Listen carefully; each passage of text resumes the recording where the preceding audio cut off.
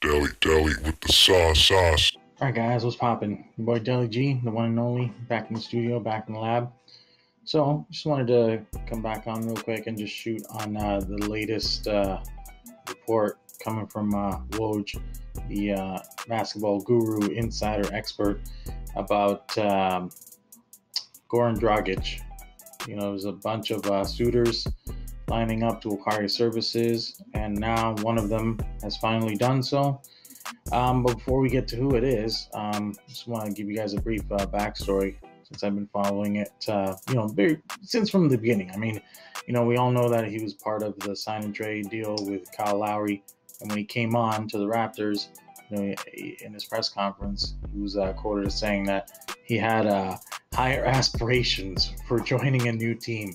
So completely downplaying, you know, the ability of the of the Raptors to, you know, secure a playoff berth or a possible championship, might have you. But um, you know, it looks like they're doing all right for themselves. Um, they'll certainly be at the very at the very least they'll be in the play-in tournament. So that's just giving yourself as much of a chance as anybody else.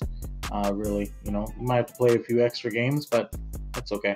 If it means that uh, you might be able to get in, then that's certainly a chance that they have also, when he was acquired, he had to take a leave of absence for personal reasons, as he was saying, personal reasons, but um, you know, mostly he was just being with his family and whatnot. And I think he was physically able to play and everything, but I think he was still just pining over his old team. There was there was a report that uh, he had gotten in early for the Miami Heat game and was like sitting close to the courtside or was sitting in the in the stands watching the game, you know, pining over his old team. So, yeah, not not a good look there. Certainly uh, in the public eye or with a lot of Raptors fans in general.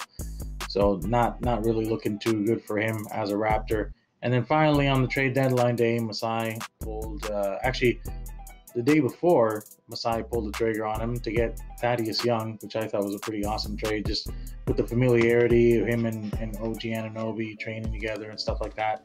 So I think it's it's a good fit, obviously, for the Raps. But um, there was an interview with the friend VanVleet, and he was quoted as saying, "Oh yeah, you know, it's it's nice, it's nice just to get a guy back, you know, who's willing to contribute, you know, because the other guy was just sitting around, you know." You're not going to be able to get anything from a guy who's just sitting around all the time. So I thought, you know, I and I thought and I thought personally when when Freddie came out and said that, you know, I thought it showed leadership and I thought that it needed to be said, man. It needed to be said from one of the guys in, in the locker room, you know, like glad you're gone. You never helped us out. You never wanted to help us out.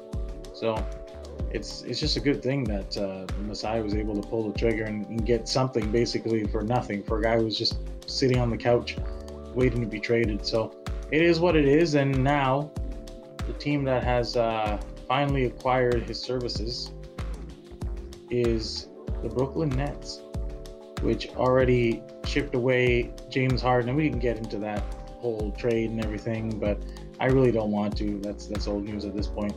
Anyways, yeah. So Dragic, let's see if he helps the Nets out. He'll probably just be like a, another backup role player three and D guy, but he's 34 years old. He's on decline. I don't really think he's gonna help much. Honestly, I, I hope it doesn't happen for the guy. You know, I I mean, obviously I don't want him to win a title with the Nets or anything like that, but at the same time, you know, I I hope that he, he actually stays healthy because he's been very injury prone uh, over the last few years. So if he stays uh, if, if he stays injury free, maybe he might be able to contribute. But I'm not really betting on that. so that's that's my take on it, guys. Thanks so much for watching. We'll see y'all later. Deli G Show. Peace out. Deli Deli with the sauce sauce.